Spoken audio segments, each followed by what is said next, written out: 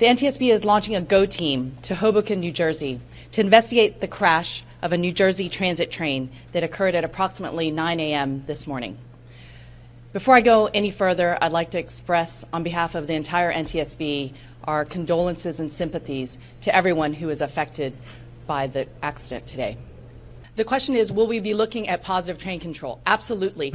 Uh, PTC has been one of our priorities. We know that it can prevent uh, accidents. As whether it is involved in this accident, that is definitely one of the things that we will look at carefully.